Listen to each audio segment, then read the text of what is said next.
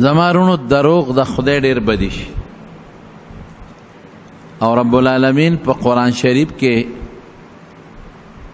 په دروغ جم لعنت ویلې لعنت الله علی الكاذبین چې کم خلق دروغ وای الله وته خیره کړی ده اوس که زه خیره وکم زما خیره پته نه لګي قبلېږي که نه قبلېږي کته خیرو کې یا به قبليږي یا به نه قبليږي او زمونږ د علما لیکي چې دا الله خیره چې دا الله او کې بس دې کې دویمه خبره نه دا قران شریف اسه الله پاک زمونږ د محاورې په بنیاد او زمونږ د اصطلاح په بنیاد نازل کړي دي نور د الله خیره زمونږ د خیرو پشانی هغه یقیني خبره ای متحققه خبره ای او واقع خبره ای او مونږ چې څنګه خیره کو دا سه الله قرآن شریف کې خیره کوي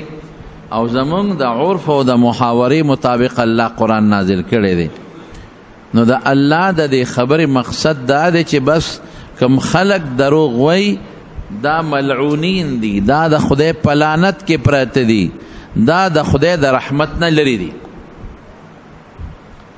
دروغ ډیر خطرناک ګناه ده او دروغ جن سړی د خدای لوی دشمن دی او مونږ خلق په دې معاشره کې نن سبا دروغ ډیر زیات روان دي او خصوصا په دې موبایل باندې او په دې انټرنیټ باندې او په دې فیسبوک باندې خو زما ګومان دا دی چې یو خبره برشته یو یو کم سل پکې دروغي ټول په دروغ روان دي او ټول په پراپګاندا روان دي دا ولې دا مخلوق د خدای نه لري کیږي دا د خدای بندگان د خدای دشمنی ولې کوي دا د خدای بندگان د الله د رسول دشمنی ولې کوي ځان ولې د خدای عذاب ته تړي نبی کریم صلی الله علیه وسلم د منافق سلور نخې خولې دي اربع من كان فيه كان منافقا خالصا دا سلور خبره چې پچا کی وی رسول الله مبارک فرمای سوچا منافق دی دی سینا دو نمبر نه ایک نمبر منافق دی پاغه سلور خبرو کې یو خبره دادا چې د کلم خبره کې دروغ وای او دویم چې کله مو وعده کوي د وعدې خلاف کوي او دریم چې کلم خبرې کوي کنزل کوي او سلورم دی خیانتګر وي نو چې خیانت هم کوي خیانتګر دی دا سړی پر دې حق پوره نه ور کوي او دې دروغ هم وایي جګړو کې کنزلم کوي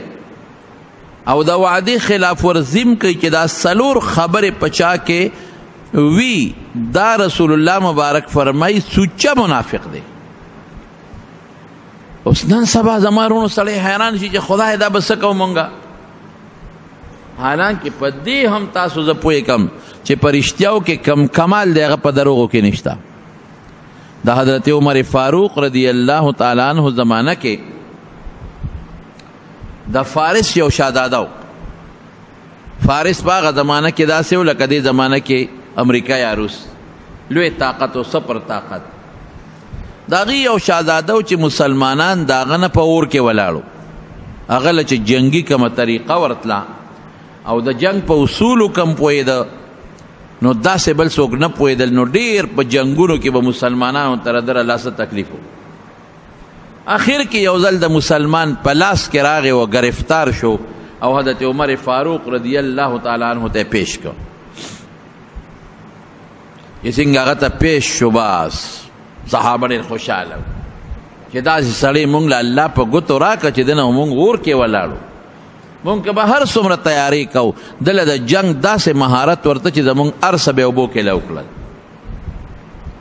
دا به څه کېږي خره چې ګیر شو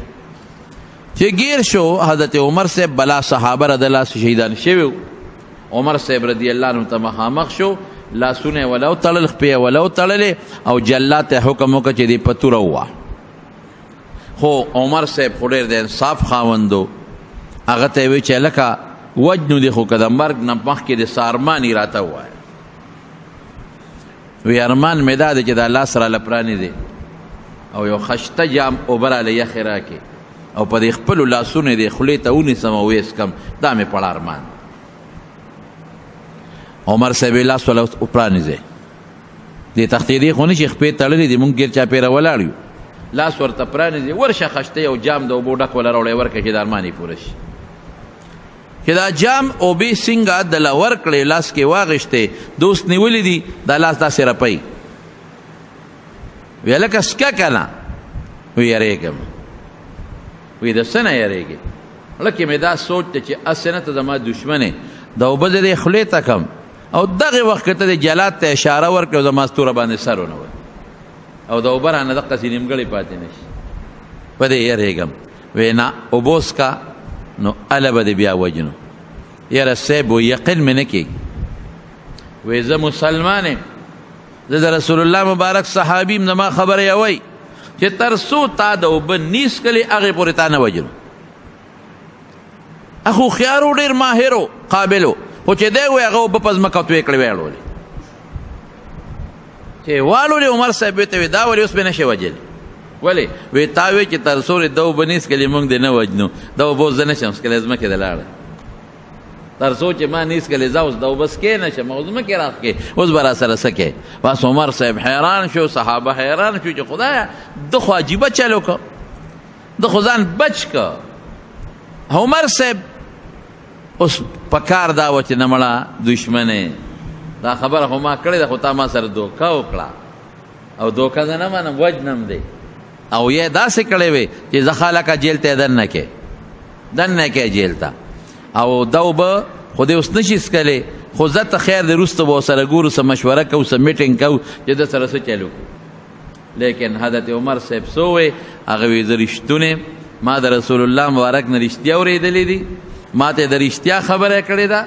او ما ته ویل چې دروغ بنوي دروغ خشه نه دی ګناه ده لہذا ما دا ویلو چې دا به ترسو نیس کله نه مونږ دې نه وجنو دا به خو دې سکلی نشي مونږ یې وجل نشو زه پرېګې دې چیزي هغه خپل دشمن د سوونو صحابه دشمن هغه یې پرېښوده او خوشې یې کړ او لاړ او چې څنګه هغه لاړ او د مدینې منورې نه ووته یو باغ کې ولمبل او واپس راغی حضرت عمر صاحب ته مخامخ ودرېده وی څنګه رالی وی باس زه ستا او د اسلام د راستبازۍ او د رښتینولۍ نه متاثر شوم داسې دین داسې خو ما چې د په سترګو نه دی لیدلی دا ځکه ما چې ته په وګورو نه دی اورېدلې دشمن سره داسې سلوک کول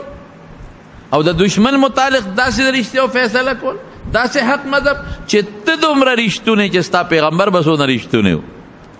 او چې ستا پیغمبر رښتونی دی نو ستا رب به څونه رښتونی وي تاسو مرګري وسنګ رښتونه لہذا زرا غلې ما او ما ته کلمه شهادت خایا زه مسلمانېږم الله پاک هغه د ایران شهزاده مسلمان کړ او چې کله مسلمان شو نو حضرت عمر فاروق رضی الله عنه سره څه چلو کو دی خو چونکه پویده په جنگي مهارت یو او د جنگ متعلق قابلیت یو نو دی مشیر ځان لواغشت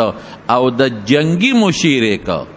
د دفاع مونږ چې وته وزارت دفاع وایو د وزارت دفاع مشیر جوړ کړ چې ته زما مشیر شوې د نن نه پس او مال به د جنگونو او د جهادونو متعلقې مشورې راکې ګورس که هغه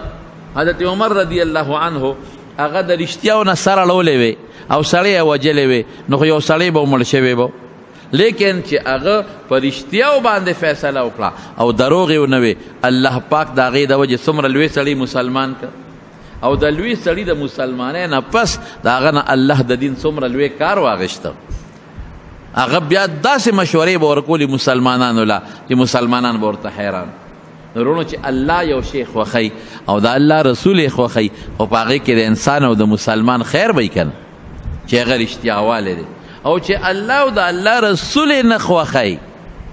نو په دې کې به د مسلمان خیر نی په دې کې به د معاشرې خیر نی په دې کې به تاوان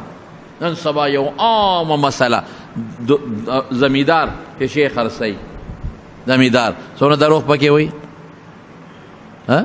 د پاسه یو شان شي پروتي په کریټ کې او لاندې بل شان شي پروتي دا دروغ یو شکل شو کنه شو دا شکل د دروغ شو خدا سوداګر تاجر چې یو شي خرڅي په دروغ ما دونه پیسې راکولې الکه دا مې نه ورکولې دروغ ولې وې نبی کریم صلی الله علیه وسلم فرمای وی خپل سودا د دروغ په قسمونو مه حراموي خپل مال د دروغ په قسم حراموي او فرمای نبی علیہ السلام چې ته دا قسمونه خورې دې د پاره چې دا سودا په خرڅه کم نو ټیک دا د قسم په برکت بستا دا سودا ګرانه خرڅه شي او برکت په پکې ختم شي نو خلک وی دا برکت څه ته وای مې برکت دې ته وای چې دا سودا تا د 1500 په زر دې خرڅ کړه سبا دې بیا د 1500 په زر نو ټیک د چې په میاش کې دې یو شل زر روپې وګټلې د دروغ په قسمونو باندې نو سبا به ته داسې مسله پیخي یا برخته مقدمه پیخي یا برته هسپتال پیخي یا برته دشمنی پیخی او یا برته د بچی او د خدي بیماری پیخی دا غي نه زیاتې بری پیولګي او کدا اسمنی نو ټینشن برته پریشانی برته سکون بده پکینی نو زمارونو قسم په دروغه خوړل یا خپل مال په دروغ باندې خرصول دا پیغمبر علیہ السلام وای دا ګناه ده دا ناروا دي نو دروغ ویل دا سخت جرم دی دا مجرم دی نبی کریم صلی الله علیه وسلم چې کله معراج ته لاړ منابي معراجو نو الته کې پیغمبر علی السلام ډیر سيزونه ولیدل نو د خپل امت د قبر عذابونه هم پکې ولیدل نو یو سړی مې پکې ولید چې دی ولاړو او یو بل سړی هغه سره یو تیر چاړه وه داسې کږه اتیره چاړه به ول په دې وخت کې ومنډله او را به ښکا نو دې سټ ته به ول را رسوله نو دا وخت کې دا به د دې سټه پورې وشلې ده دا به یو چغې والی ویني به ته به دې نو بیا به دا چاړه را واغښتا دې بل وخت کې به ومنډله نو را به ښکا د دې سټه پورې به دا طرف وشلو نو چې دا به سنگ وشلو نو دا بل به جوړ شوی نو بیا به ول دلته کې خودا بیا به راخکا نو چې دا به ول اوشلو د سټه پوره نو بیا به دا بل طرف جوړ شوی نو بیا به ول دلته کې کونډه تیره چاړه کې خودا او سټه به راخکا نو یو طرف به شلو بیا بل بیا بل بیا بل جوړېدا او بیا به ول شلو او دا به دا چغې والي دا وینې ته به دی نو حضور پاک مبارک فرمایي چې ما تاسو کو د جبرئیل علی السلام نه چې دا څوک دی دا خو ډېر په بدر وز دی نو یې دوه فرشتې وې نو یې دواړو راته وې چې دا ستا امتي دی زما امتي او دا څوک دی دا چې دنیا کې به دروغ وې داغه دروغجن امتي دی ستا نو چې دې کله مړ شي دروغجن نو دې د قبر عذاب دی قبر کې دقه چل به سره کېږي اوس د خدای خوخه ده که یو لاک کال دا چل کوي که زر کال وسره کوي که 2000 کال کوي دا خدای خوخه ده دا د قبر عذاب دی رونو څونه خطرناک خبره ده نو درو کې د فایده سره د خدای بندا ولې د خدای او د رسول دشمنی کې ولې خدای خپه کې ولې رسول الله مبارک خپه کې سنو فایده دی پکې صدا په دروغو کې ولی دا دوست به خوشاله کم که دروغ وایم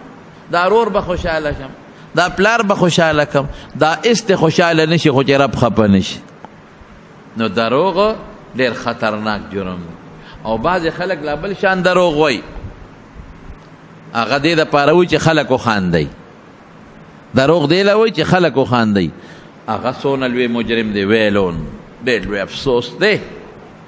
او یادا چې په دوزخ کې یو کند در چې ډېره خطرناکه کند ده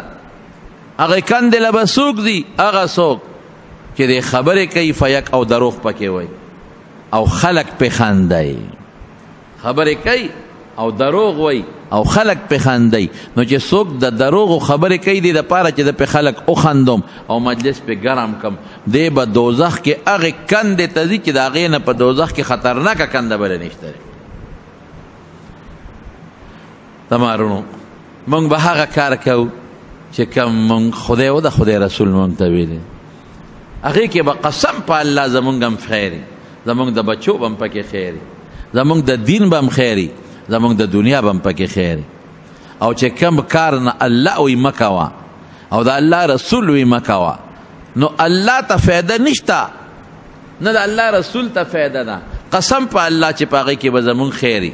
زمونږ د بچو به هم خیری زمونږ د ښځې به هم خیری زمونږ د دنیا به هم خیری او زمونږ د آخرت به هم خیری یو ډېر لوی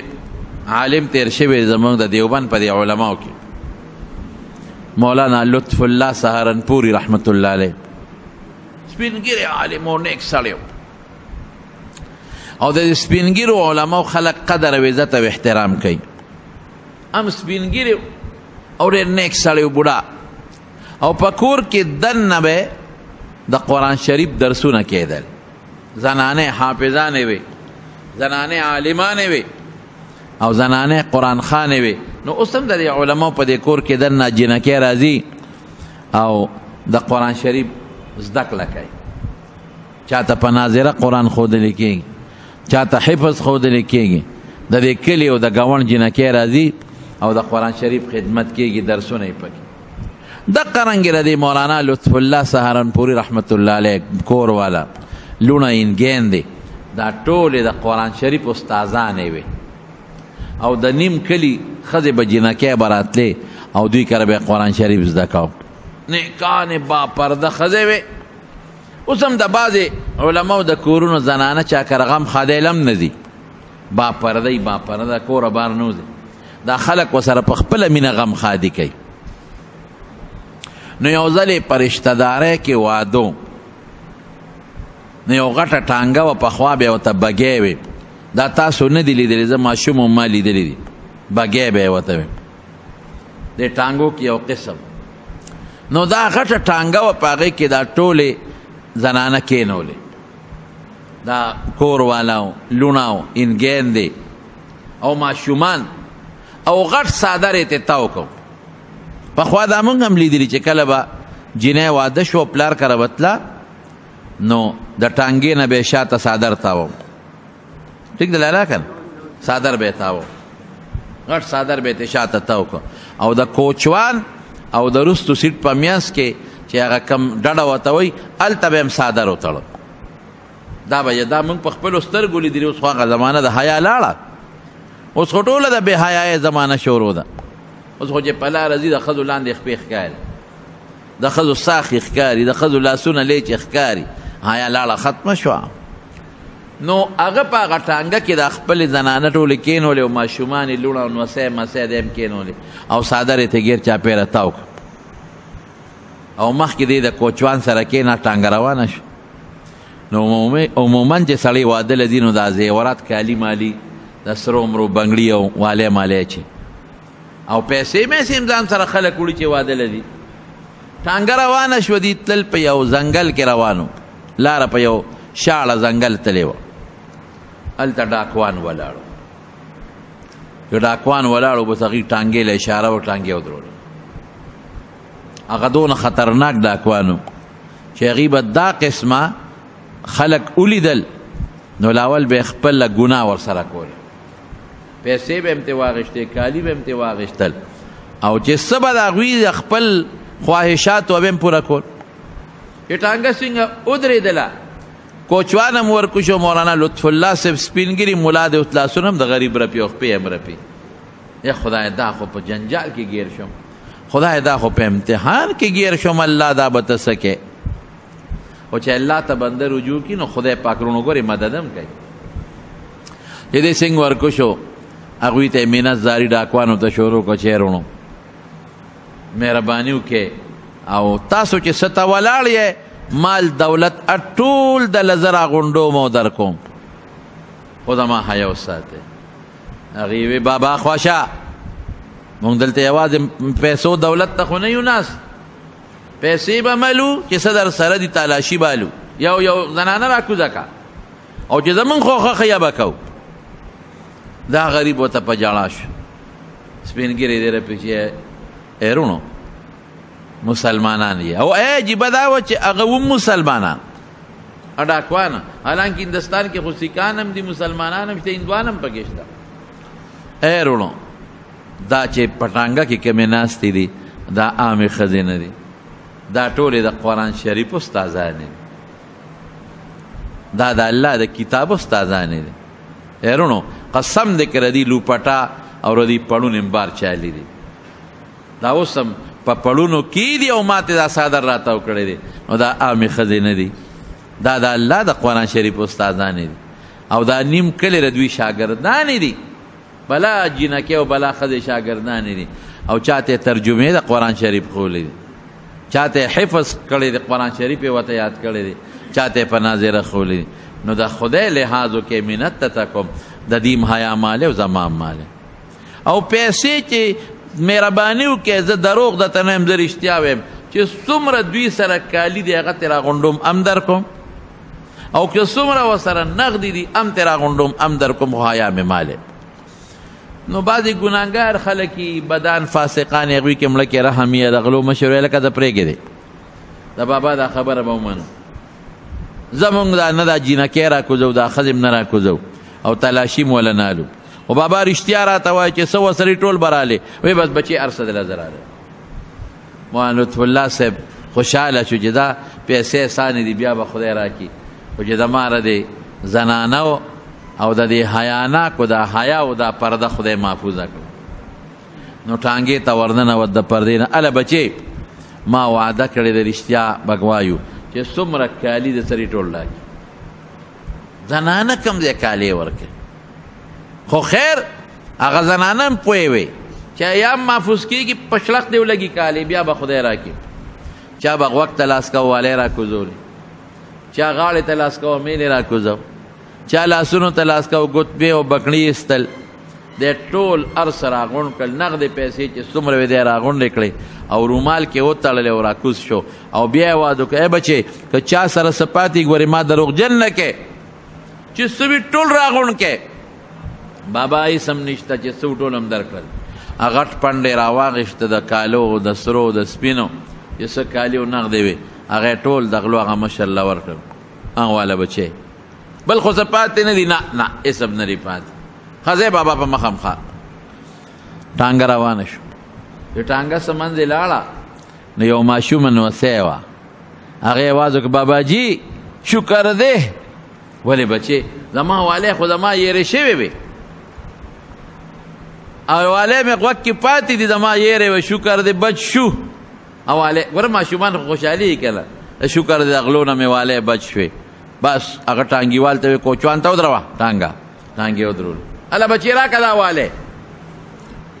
اوس رونو دا غل خو پچا قرض نه نه پوري دا غل نو خلق شی پټای ګناه خو نه د خبره چې غل نه شی پټ کېو دا غلا در نه ونه کی لیکن مولانا صاحب وی الا بچی خوشحال کبل سړوت به خوشحال اے کزوی زبم خوشحالم خدای دې تاو مونږ ساتي مونږ یې زسه شي خو بچ شو کنه نه نه نه نه هغه وته سوي او ته یې بچي الله راکه شابه داواله ولې به نه بچي ما وته دروغ جن کاوم ما ما وته ویلي دي چې څومره شی دې ټول بدر کوم ما دروغ جن کاوم بچي الله راکه بس هغه زنانم حیرانه وي دیم حیران هغه ماشوم هغه په جړا کې هغه والي د غوګه راکوزې کړې او نکلې ورکړې او مولانا صاحب دا غزین را مې مرګرو درېږي ښا او درېږي غلو یریدل چې سړی را پسې واپس راغی جوړ څه چل دی او دو ته والې لقې چې و یری او درېږي څه یریږي ما دا والې پاتې دی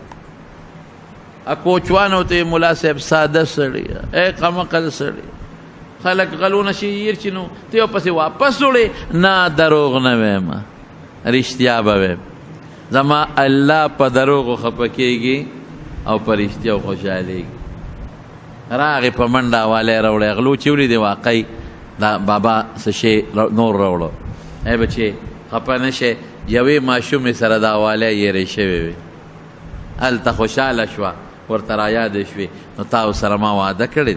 واده خلافي به نه کوم او دروغ به هم نه وایم دروغ د منافق نخه ده او وعده خلافی د منافق نخه ده الله خپه کیږي نو دا والے پاتې وه بچي دام والے چې والے غلو لورکړي د غلو غ سردار حق حیران شو امرګرو ته وای بابا جو درګل یو من امرګرو ته وای او غټ بدمعشو ټول بدمعشان وسره وې دا مونږ څنګه یو دا څنګه منګم خدای منو دیم منی آها دیم خدای منی زم منم زما سنگ منل دی اور د سنگ منل دی زم قبر منم دیم منی زم اخرت منم دیم منی زم جنت دوزخ منم دیم جنت او دوزخ منی دا زما سنگ منل دی اور د سنگ منل دی دیم په دنیا کې جون تیرې ډوړې پسې منګم ډوړې پسې دا کار وکړ مونږ ډوړای په دا چل کو دا مسلمان مالونه ټک ټکاو دا مونږ څنګه مسلمانان یو دا څنګه مسلمان دی دې دا خدای نه سونه یریږي زس مونږ ته سونه یریږي یقین کو دا مولانا لطف الله سهارنپوری رحمت الله علیه دا اغه رښتیا او د برکت نه د غلو سردار هغه خلکو ته نو مګو ته باس که تاسو مې مرګري کېږئ هم او کنه زه خو په دقه ځای هم د دې سپینګیري مولا په لاس بیعت کوم او زه خو د مرید کېږم او د تابعدار جوړېږم توبه او باسم هغه وی چې ته کې منګه سر کې کو ټول غله ډاکوان په اق ټیم د مولانا لطف الله سهارنپوری په لاس باندې د ایمان تجدید وک خپل کلمه تازه کړه او خپل دا دوکون او ددروغو ډاکې نه توبه وستا او بس سچا هغه ډاکوان د مولانا صاحب مریدان وګرځیدل بیا به ګرځیدل او پیسې چې چا نه سو نغلا کړې چې دا وته اوس واپس کو چا نه معافی غواړم او چا ته واپس کول زمارونو خدای پاک دا او مالی وته واپس کوم مولانا صاحب خپل مال دی والا دا وړه او موږ تاسو سره بس اوس کینو جمعات کې بل کار باندې کو بس الله خو په توبه خوشاليږي بیا بس زمونږ توبه ده مونږ معافي غواړو دا ولی دا د مولانا صاحب داغه راستبازه او د رښتیا ویلو برکت مونږ وایو الکه بس دروغ او دروغ او رښتیا او رښتیا پر رښتیاو کې متاوان نه په دروغ کې مې ګټه نن سبا رونو دا بیان مې پس وجه شروع کو نن سبا په دې انټرنیټ او په فیسبوک کې څومره دروغ ویل کېږي توبه به وباس ټول دروغ او دروغ چاله وایو الله دنیا د پاره او دروغ چاله وایو لیډر له دا لیډر والله کده پکار هر قسمه لیډر کده کنيک ته او کبد دی والله کده پکار شي په دې دروغ دې دې نشي خلاصول نو مهرباني وکړو درو مو دا دروغ پروپاګاندا مه کوي او که چې په فیسبوک چا دروغ ورکړي هغه مخ وراوي ګناه ده دا مو چې دا دروغ خو دې پلان کې ورکړل هغه ورکړ خو چې ته خورې نو ته پکې شریک وي وسره د دروغ پروپاګاندا شوي یو سړی پنځو کسو ته دروغ وای یو سړی لسو ته دروغ وای یو سړی سلو ته دروغ وای او رښتیا وای په دې فیسبوک کې خواره کې دا دروغ دې څومره خلکو ته ورسېدل لکونو ته او ډیر خلک بیا ظلم بلم کوي د انسان نه به چاله به سر د بټیاري کی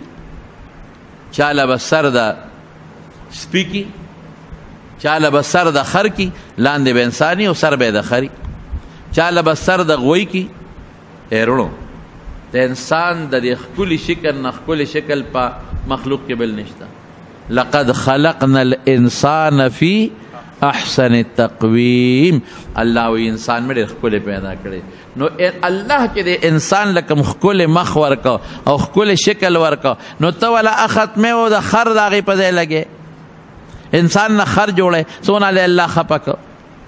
دا به بالکل نه کوي ورو زه خو چې دا ما دا بیان څوکم اوري دا ډیر خلک اوري دا په لکونو خلک اوري دا دام په فیسبوک خوريږي او دا په نت باندې خوريږي او دا په بار ملکونو کې او په یو ځای بل ځای کې ماته ماته خلک ټلیفونونه کوي ډیر خلک اوري نو زما خو چې څومره دوستان یې یا زما بیانونه څومره اوري نو ټولو ته زما دا درخواست دی چې که د نن نه مخکې هم کړي توبه وباسئ الله ته د نن نه مخکې هم کړي توبه وباسئ د نن نه پس په موبایل او په نټ درو خورول د دروغو پراپګنډې کول پردي درو خورول او د انسان شکل خرابول شکل مسخ کول د انسان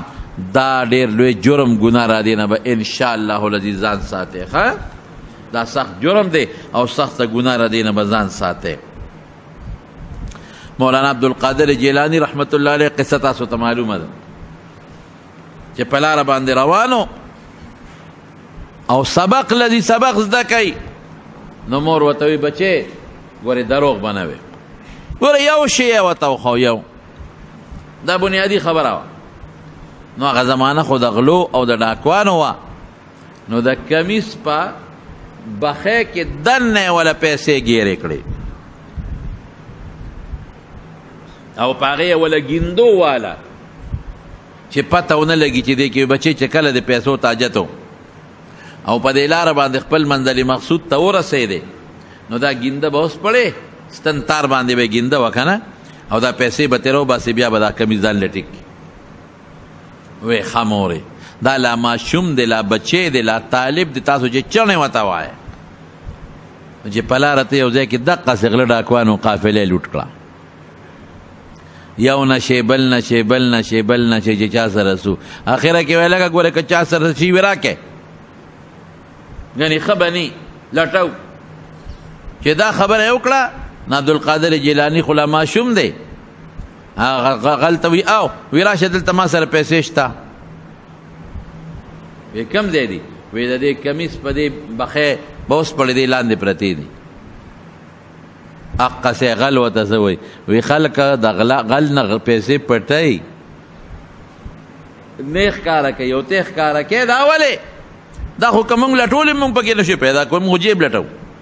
بڑا لټاو اطلاق جیب لټاو دا خو تعالی داسې ځای کې پټې کړې دي چې دا خو کوم تا نه خولې مونږ نه خولې واو امام ما تم پته چې تاسو نشه پیدا کولې نو ولې دې مونږ ته خولې وې چې راتلم مور راته بچي دروغ بنوي نو تاسو تاسو کې چې نور څه شته کنه نو ما دروغ نه شویل دقه تاریخي خبره ده چې د عبد القادر جیلانی رحمت الله علیه چې څومره ډاکوانو هغه یو بل ته وی ښا دی بچی ته وګوره دی د مور منی چې دروغ بنوي او موږ د رب نه منو چې رب راته وی دروغ بنوي دی د مور خلاف نه کوي موږ د خدای خلاف کوو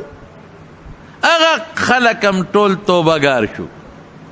اجه څومره ډاکوانو ټول توبګار شو او د مولانا عبدالقادر جیلانی رحمت الله علیه رستو داغه په مریدانو کې شمار شو نو دروغ زمارون ډیر خطرناک جرم دی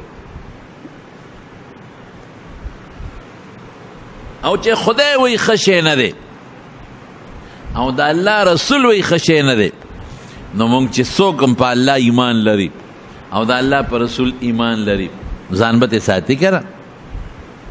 دا اکثر یو واقع ذکر کوم تاسو ته یاد دهانی کوم بعضې مرګرو ته به یاد مې په دې هندوستان کې په یو زمکه باندې د یو هندو او د مسلمان جنگ وو هندو وی زما ده او د مسلمان وی زما ده نو جګړه زیاتې ده زیاتې ده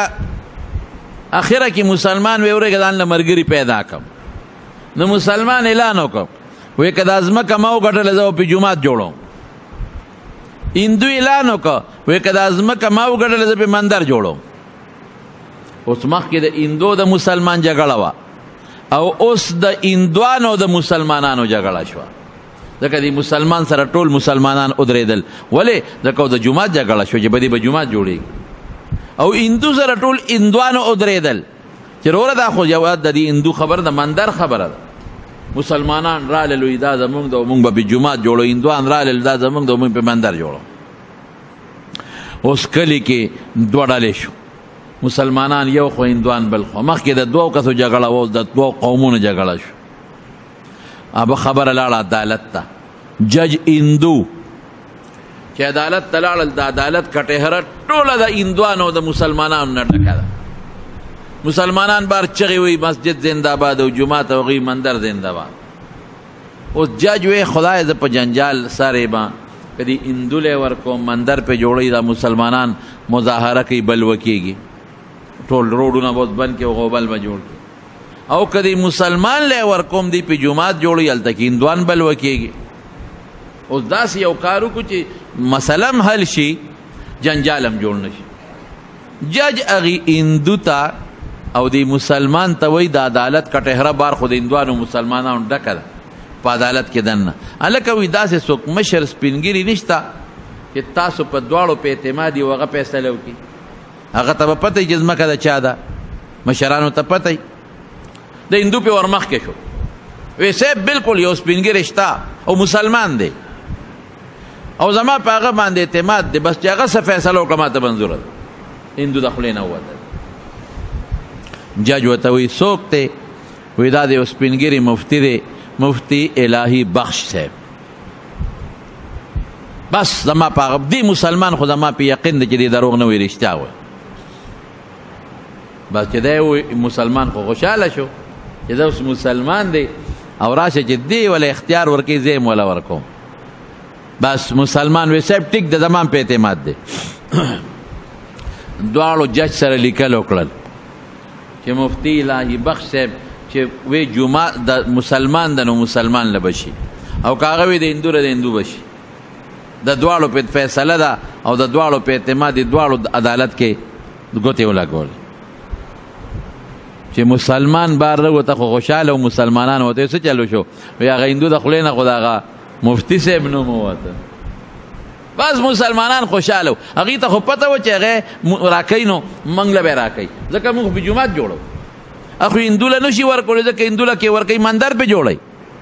نو د بوتانو مندر لبه زی مفتی صاحب ورکی بس هغه خو خوشاله اندو چې بار راوت اندوان ورته وسه چل دی وکړه یاره وی غدل تسپینګری سړی نه دی ابړه مفتی الهی بخش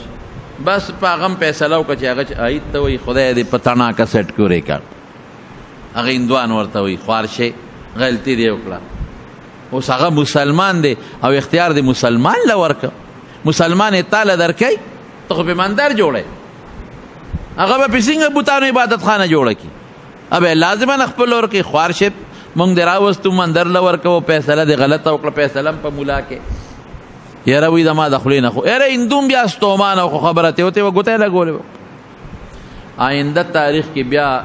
اندوان امرال کټهره ډکه ده د عدالت کچره مسلمانان امرال اندو او مسلمان دواړه وردن نش او د غسبینګری مولا سه مفتی لای بخش سه الاس او پیړه چی هغه راوست جج ته ور مخامخ یو خو هندو بل خو مسلمان او ججم د سړی هندو دی مفتی صاحب ور مخامخ کا وی په دم یق اعتماد دی اختیار د دې ویاو وی مفتی صاحب دا د زمکه ده پلان کې دی کې تالی دی ویاو صاحب د دې مسلمان او د دې هندو په جګړه ده مسلمان وی زما ده هندو وی زما ده مسلمان وی کما او ګټل د په جمعه جوړو هندو وی کما او ګټل د په مندر جوړو مندر د هندوانو عبادت خانه ته وای دوی دواړو پتا فیصله وکړه چې دا زمونږ مشر دی د تپترا دا زمکه د چا ده سپینګری نو ته وای چې زمکه د چا ده دروغ بنه ورشتیا به او کده ته پته نه بیا مو وای مفتی صاحب ته وی جج صاحب ما ته پته راځي زمکه د چا ده دته خبره او زبرشتیا خبره کوم خو یې وایي ځمکه د چا ده جج صاحب وایي دا ځمکه د هندو ده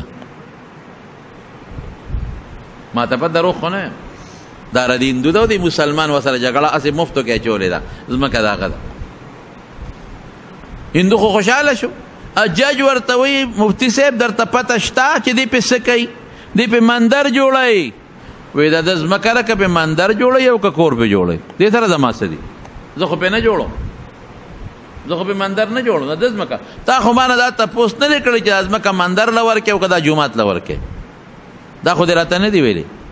تا خو ما نه دا فتوا نه غوښته چې مندر جوړول په جایز دی او کنه جایز دی تا خو ما ته ځمکه د چا نه دروغ وي بس درشتیا وایم چې ځمکه د هندو ده دروغ نه وایم اگر که زه د مسلمان درونن د مسلمان کېږي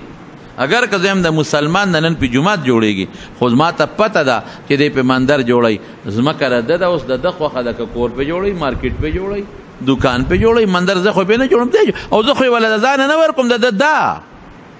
اوس کما پر دې زما کور کوله د مندر لنو بیا به د ګناګارې دی چې تا ته پته و چې مندر په جوړي ولې ولا ورکه نو زه په خرصوم خو نه او زه سواله پر دې زما خو نه ورکوم زه رښتیا ویم تا وې زما کړه چا د ما ته پته لږ زما کړه هندو ده یقین کوا چې جج په تعزیراتهن په قانون د پاسه یو فیصله ولیکله چې ډېرې مودې پورې هغه د هندستان د تعزیراتو یوې سوه نن به مي غالبا جج څه ولیکل جج دا ولیکل چې مسلمان هار گیا لیکن اسلام جیت گیا مسلمان او بیله خو اسلام وګټله مسلمان خو بیللا ځکه زمکه په پردې دا وګیرو او زمکه پردې وا خو اسلام وګټلا اسلام وی مندر دی جوړ شي خو رښتیا دی ویل شي اسلام وی مسلمان دی پیل شي خو رښتیا دی ویل شي اسلام وی اندو دی وګټي خو رښتیا دی ویل شي دروغ دی نه ویل شي د اسلام قانون دا د یو کس د پاره نه دی دا د یو قوم د پاره نه دی دا د ټوله دنیا د پاره یو شان دی یاره چې دا خبره وکړله هغه هندو په هغه عدالت په کټهره کې وای وی دا اسلام دا مذهب دا دین عجیبه دی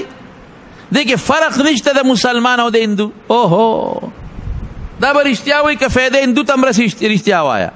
که فایده کافر تم رسې رښتیا وایا که فایده ملدر تم رسې رښتیا وایا قانون دی بس یاره جج صاحب زه خو یو خبره کوم دا ځمکه زما شوه د تا مال راکړه فیصله وشوه وی او وی بس زه د نن نه پس کلمه شهادت ویم او په دغه اسلام کې داخلېږم زه نن مسلمانېږم بس دا دین قبلو داسې دي او نن نه زه اعلان کوم چې دا ځمکه ما په خپل جمعات ته وقف کړو جمعات به جوړوم که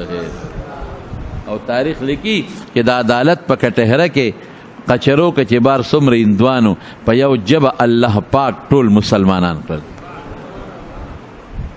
دا د رښتیا او برکت مونږ ټول درې وزینو کې علما وی رښتیا دروغ وی ویل شي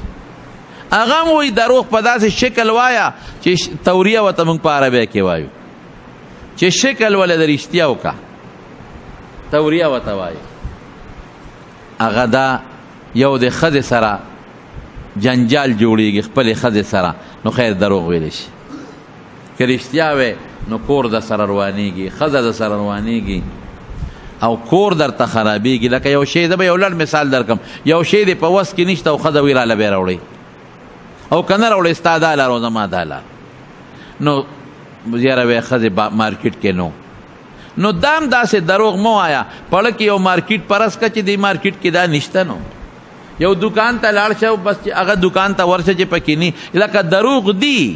خو شکل بیا هم کوشش وکړه چې شکل ولا دروغ جوړ نه کړي خو دروغ دره جیس ولې کور دې پروانېږي یوا دغه رنګې خزه او خاون خاون د خزه نه تاسو یو مطالبه کوي چې هغه خني او خزه وته دروغ مروغ جوړ کړي او دا خاون پر رضا کړي دویم په جهادي میدان کې د جهاد په میدان کې دروغ ویل شي ولی بعض یو کافر ته که مخامخ دروغ رښتیا وي نو بیا به حالات خراب شي او دریم د دوو مسلمانانو جوړه چکه اوس که یو مسلمان لته ورشي او جوړه کې نو خو خامخا دا غبل دشمن په سر غړې وړې وي نو کته غلا خبره ورسې چې هغه خدا وینو دا خو تا نور جنجال جوړ کړ روانه دې نور زیاته کړه جوړه دې ونه کړه نو دی وخت کې ته دروغ ویل شي چې مړه غله خو زورل مې لکه ته خو د ما دشمن دی هغه خو ستا صفت کاو هغه خو دا زما رور دی خو بس روانه راغلی دا غلط فهمي ده نو اب مړ نرم شي ها یاره بس زما په سره سره پلان نه کې پټې خو شریک نه دی خو یو جنجال دی راغی زما رور دې سره بل نرم شي روغه بوشي نو دې دریو سیزونو کې دروغ وایا ام علما وي په داسې شکل وایا چې سنا ست د ځان بچکول شي نو خبره ځان بچکول شي نو خبره او کنه می نو خیر دروغ پکې ویل شي او ما سوا د دې دریو زینو نه نور دروغ بنه نو زمارو بنیادی خبره مې دې پوره دا بیان وکړ چې نن سبا په نت باندې په فیسبوک باندې او په دې انټرنیټ باندې د دروغ یو سمندر روان دی یو سیلاب روان دی د دروغ الزامونه په خلکو لګي یو سړی کې بغلتی نه او دی په دروغ الزام شروع کی د دروغ کنزل لکی دروغ پروپاګاندا لګیا دی کیږي او یو یو تخوري او بل بل تخوري او بل بل تخوري نو یو دا مې ربانی وکي چې ان شاء الله زما بیان چې سوکم اوري ارده کې چې اوري نو ګورب الله خپکیږي نو الله سره به عهد کوي ان شاء الله چې موږ به فیسبوک باندې په انټرنیټ د نن نه پس هغه کار نه کو چې په کوم الله خپه کېږي دروغ به نه وایو د دروغو پراپیګنډه به نه کوو او که چا کړي مې نو موږ به بل ته نه رسو او موږ به انسان د ذات عزت به کوو د انسان ذات هر څوک چې د انسان د هغه شکل دا د انسان شکل دی دا ولا خدای خپل شکل خوښ کړی دی دا غنسپې جوړل او دا غنه خر جوړول او دا غنه بل شی جوړول یا غ پورې ټوکې کول دا په شریعت کې ګناه ده د دې نه بزان ساتو نو د دې اصلي علاج څه دی اصلي علاج دا چې د دروغجنو سره مکه نه او د رښتونو سره کینه مجلس تاثیر لري که ته دروغجنو سره ناشته نو دروغجن بشي که رښتونو سره ناشته رښتونه بشي دا رنګ نن په انټرنیټ او په فیسبوک هم د د د ناشته یو طریقه ده دوستانه ده یو بل سره ځان سره شامل کی څه وته وی لکه